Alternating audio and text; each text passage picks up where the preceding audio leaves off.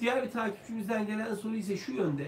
Türkiye'deki üniversite öğrencisi oğlum turist vizesi için başvuru yapacak. Biz buradan davetiye de yolladık. Türkiye'de babası ve dedesi sponsor yazıları yazacaklar. Benim sorum şu, davetiye mektubu ve ayrıca sponsor yazıları ters tepebilir mi? Bir de öğrenci çocuk sonuç olarak hesabında illaki para mı olması gerekli midir diye sormaktadır bu kişi. Sonuçta e, Türkiye'deki bu oğlunuz üniversite öğrencisi ve bir turist vizesi başvurusu yapıyor.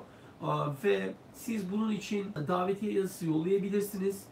Ama gördüğüm kadarıyla zaten kendisine e, finansal sponsorluğu yapacak kişi Türkiye'deki babası ve dedesi olacak.